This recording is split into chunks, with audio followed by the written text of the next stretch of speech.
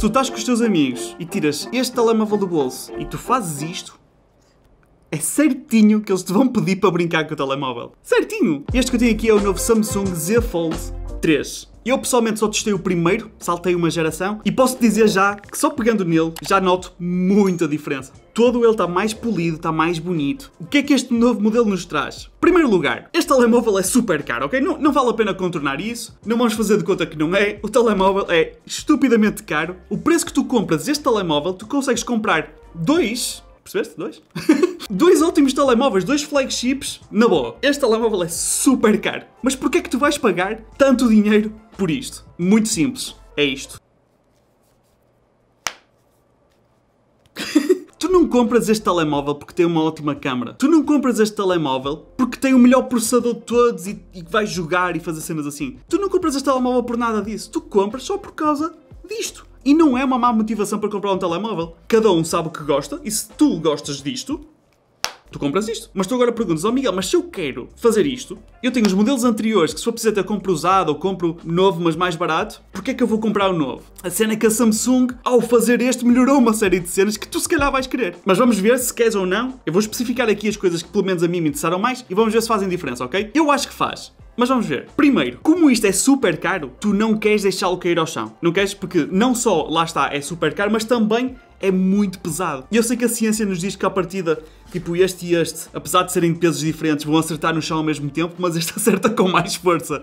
Dói um bocadinho mais na alma, até porque lá está, é super caro. Eu vou referir isto várias vezes, ok? Continuando. E como ele é super caro, pesado e dobra e tem aqui uma série de situações que podem torná-lo mais frágil, a Samsung fez uma série de upgrades à resistência dele que eu acho que foram muito boas. Primeiro, atrás temos, não é Gorilla Glass 1, nem 3, nem 4, ou seja, não é tanta cena de quantos gorilas é que consegue ir para aqui para cima sem partir, mas sim, temos um super gorila, que é o Gorilla Victus. Epá, e esse gajo parte a boca facilmente a 5, 6 gorilas dos outros. Ou seja, este aqui está muito mais potente. Imagina um super gorila, ok? Pronto, é esta parte de trás, ou seja, muito mais resistente que o outro. E tu dizes, oh Miguel, mas eu não quero saber na parte de trás. O que me preocupa mais é este ecrã lindíssimo e gigante e que dobra. Este ecrã é aquele que me preocupa mais. E eu percebo a tua preocupação. Obviamente este ecrã, ainda por cima dobrando, está muito mais sujeito a levar com cenas. Imagina o que é, estás a fazer a tua vida, ok? Enquanto tu dobras, tu estás a dobrar o gajo, cai assim um grãozinho de areia. Tu nem vês, ok? Tu estás a fazer a tua vida e estás, em, imagina em câmera lenta, ok? Estás a passar na rua em câmera lenta, estás a fechar, pensa tudo em câmera lenta, ok? Está a fechar e pumba, grande areia, está lá e tu,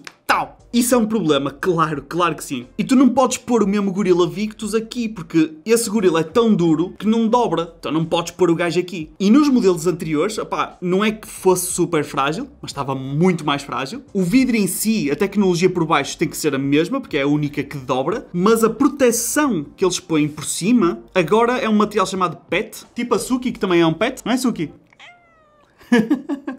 Este PET é quase o dobro mais resistente que o material antigo. Segundo o que eles dizem, é 80% mais resistente. Isso é muito por cento, ok? 80% mais resistente é uma melhoria considerável. Portanto, só por aqui, o facto de ser incrivelmente mais resistente, para mim, é um bónus gigantesco que começa a parecer mais justificável comprares este e não os outros. Esta película de proteção é invisível, ok? Tu consegues ver que ela está ali. Faz lembrar aquelas películas que se põem para proteger o ecrã, mas não é uma dessas películas amovíveis. Esta película é permanente e não pode sair. Eu digo isto porque na primeira versão deste telemóvel houve muita gente que viu esta película e achou que vinha assim de fábrica. Alguns tentaram tirar, outros chegaram mesmo a tirá-la toda e tipo estragaram o telemóvel todo. Por isso, não façam isso. E no meio de todas estas melhorias, eles fizeram uma cena fixe que é grande parte dos problemas problemas que este telemóvel tinha estavam nesta hinge. E o telemóvel não só não era resistente à água, como tipo qualquer salpico podia ser letal. Então eles fizeram uma cena em que eles selaram à parte todo este lado, selaram à parte todo este lado, e depois a hinge em si, pelo que percebi, a água pode entrar, mas tudo o que está lá dentro está selado com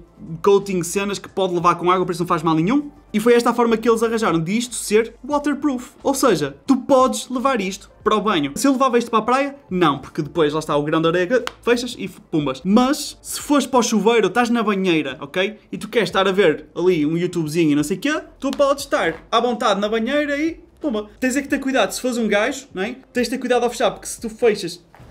Tá, estás a perceber? Percebeste a cena? Imagina o que é. Estás no... E, e fecha. Pronto. As meninas não têm esse problema, mas Pronto. Ficou o aviso, ok? O que acontece também, a razão pela qual tenho este paninho, é que imagina, tu estás a usar o telemóvel assim, enquanto estás assim, estás assim. E eu começo a entrar em paranoia quando olho para aqui e fica com as dados. Então eu estou com este paninho a limpar para ficar bonito para o vídeo. Mas habitua-te que isso vai acontecer, ok? Depois, dependendo se tu suas das mãos e não sei o que, vai ser um problema pior. E agora eu sei que os haters, o pessoal que Estás a perceber? O pessoal que se calhar tem que pôr um bocadinho de Nivea aqui, vou começar todos a mandar filetes. E eu já sei quais são os filetes que eles vão mandar. Quais são os filetes? São, oh Miguel, mas eu tenho um standzinho para pôr o GPS do carro. Eu ponho lá este gajo, isto é tão pesado e gordo e não sei o quê. Com o meu telemóvel eu ponho lá na boa e com esse não vai dar. E ok, mas o teu telemóvel faz isto. Ah. Oh Miguel, mas eu uso um gimbal daqueles todos nice para filmar cenas, estás a ver? Porque o peso é muito maior, ele é gordo e não sei o quê e não vai dar assim muito bem. Com o meu telemóvel dá isso na boa. Epá, é, yeah, é verdade, se calhar não vai dar. Tendo em conta como ele é, mas o teu telemóvel faz isto? Pois. Ah, Miguel, mas o meu telemóvel eu posso pôr no bolso e não é pesado ao ponto que me puxa as calças para baixo. Pá, tá bem. Mas o teu telemóvel faz isto?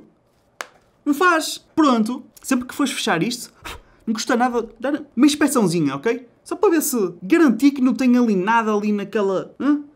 Este telemóvel compras por causa da experiência que te dá poderes abrir e teres um tablet. É só isto, ok? E que experiência é esta? Oh, Miguel, eu não gosto porque tem uma coisa no meio e consegue-se ver que tem um ecrã no meio e, e tem a dobra vê-se, então eu não gosto. E vê-se bué, então...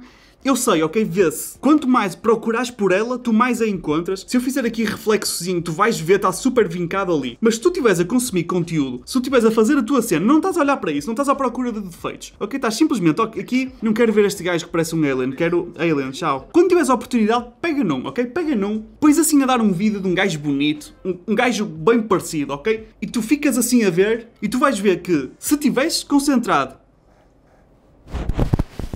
tu estiveres concentrado naquilo que estás a fazer, estás a consumir o conteúdo, essa linha desaparece. Quanto mais uso, parece que mais desaparece. E ah, ok, se tu estiveres a ver alguma cena que tem muitos escuros, e quando tem escuros, fica o ecrã todo preto, notas mais os reflexos, e ah, tu vais notar que a cena está ali, mas é uma questão de hábito. Quanto mais tu usas o telemóvel, menos notas. Eu neste momento estou a olhar para aqui e juro-vos que eu não vejo a linha. Eu tenho mesmo que a procurar, eu tenho mesmo que fazer aqui alguns reflexos para conseguir ver. Repara nisto, repara nisto neste momento, tu não vês a curva. Tipo, eu sei que em vídeo não é a mesma coisa, tu tens mesmo que pegar num, mas olha, está ali, deixa de estar.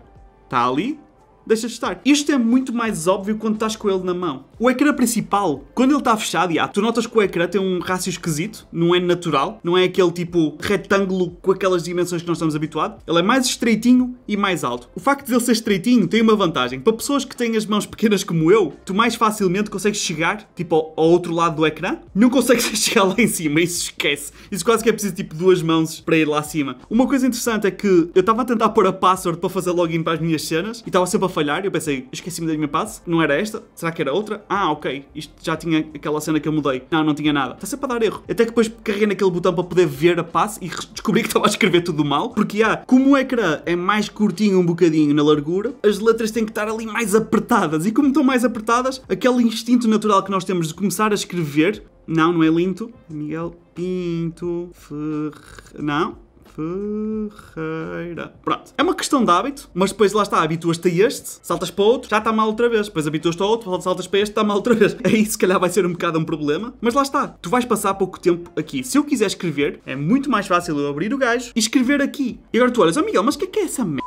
Está aí, meu. Um ecrã está metade para um lado, metade para o outro. Eu sei que parece um bocado estranho à partida. Se nunca usaste uma coisa desta, eu sei que é estranho ver o ecrã ali dividido, mas acredita, tu estranhas e depois entranhas, tu experimentas e vais ver que, afinal de contas, o teu instinto de saber onde estão as teclas está exatamente igual. É a mesma coisa. E escreves tão bem aqui. É tão fixe. Eu gosto mesmo de escrever com ele aberto. Mais coisas. Tens algumas apps que não funcionam diretamente, nativamente aqui. O que é parvo. É parvo porquê? Porque imagina, eu abro o Instagram e ele fica com este rácio estúpido. E tu pensas, ei, que cena chunga, meu, quem é que quer ver isso assim? Olha o Gomedeiros, tu abres o Instagram e ele fica assim. E tu pensas, opá, que chunga, não quero, com estas barras pretas do lado, não necessariamente. Isso corriges facilmente, não é, Gomedeiros? Grande abraço para ti, meu. Só tens que ir às definições, vais aqui, funções avançadas, vais a, como é que está o gajo? Labs, depois de Labs vais a personalizar relações visual app, escolhes a app que está a dar problemas, neste caso o Instagram, e digo ecrã inteiro. Sim senhor. Agora se formos ao Instagram, zumbas, aí está. Ecrã inteiro fica mesmo fixe, está altamente. Houve usar isto, a fluidez do refresh rate alto, o ecrã gigante e o facto de te lembrares, isto não é um tablet, eu posso voltar a fazer isto e passa a ser um telemóvel normal outra vez. E mais giro, eu se quiser armar, eu posso começar a fazer isto? Eu estou a usar o telemóvel assim, meu. What the fuck? Que top. Incrível. O facto dele dobrar não traz só a cena de, ok, é um telemóvel, é um tablet, é um telemóvel, é um ta... Não é só isso. Existem muitas aplicações que te dão algumas funcionalidades extra ao ter isto assim. É assim, se vais usá-las muito, opá, não sei. Pessoalmente, aquilo que gostei mais foi a cena do YouTube. Tu no YouTube o que podes fazer que é muito fixe é, por exemplo, estar a ver um vídeo, pões o gajo só a meio, mas atenção, não pôs do lado das câmaras, porque senão vai ficar assim e tu não queres isto. O que tu queres é pousar deste lado. E tu podes estar a ver o vídeo e a espreitar os comentários. Ou então abres um vídeo meu, por exemplo, estás a ver o vídeo, só começaste a ver os primeiros segundos e já estás. Não percebes nada disto, és um little bitch, vou antes ver outro gajo. Enter. Este é o tipo de coisas que podes fazer que noutros telemóveis não consegues. Quanto à câmara, isto tem bué de câmaras, porque tem estas câmaras, esta câmara e ainda tem câmara que tu às vezes nem sequer dás por ela que ela existe. Porque esta câmara tem esta tecnologia toda crazy que neste momento, para vocês veem que está a piscar, mas eu não vejo, ok? Isto aqui é. Isto tem a ver com a cena da câmara. Exato, é assim que eu vejo. Isto é a mesma lógica que a cena da dobra, ok? Se tu estiveres à procura da câmara, tu encontras, é óbvio que ela está lá. Mas se estiveres a consumir conteúdo com a câmara por cima, tu não dás por ela. É tipo camuflagem. Tipo, se tu olhares mesmo para um gajo camuflado, tu sabes que ele está lá, mas se estiveres a passar, se calhar não vês. No entanto, se eu chegar aqui e clicar selfie, esses pixels desligam-se para que a câmera fique decente. É possível ter os dois, mas a qualidade fica estúpida. Portanto, o telemóvel é super fluido, a cena de dobrar é super divertida, é mais resistente, temos a proteção do Victus Super Gorilla, temos o PET, temos a câmera escondida, temos a dobra que não vês, temos uma série de cenas novas e agora eu sei que eu normalmente acabo os meus vídeos sempre com a câmera. Faço testes, comparo com outros, faço uma série de cenas, mas eu não acho que se justifique fazer isso aqui. A câmera não vai ser tão boa quanto os outros flagships da mesma marca, não vai ser tão boa quanto o meu iPhone. O objetivo deste telemóvel não é ter a melhor câmera, não é nada disso. Para o final do vídeo, vou deixar uma série de fotografias para vocês verem, os vídeos também, para vocês verem se gostam, se não, para poderem analisar com os vossos próprios olhos se as câmaras que têm são boas o suficiente para este telemóvel ou não. A meu ver, são mais que boas o suficientes e mais, eu não vou estar propriamente atento às câmaras, porque eu vou estar demasiado distraído a brincar com isto. Isto é que eu quero. Eu só quero brincar com esta cena. Queres saber quanto é que eu estou a lucrar de criptomoedas? Espera lá, o valor não cabe neste ecrã pequenino. Eu tenho que abrir. Ah, agora consigo ver. Hã? Pois, pois é.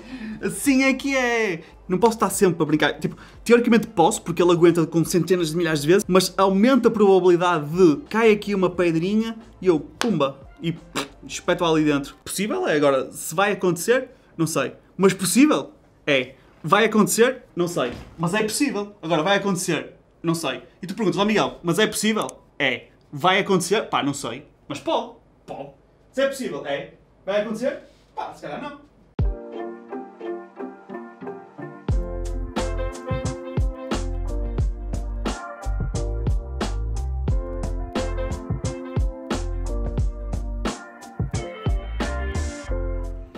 Lily.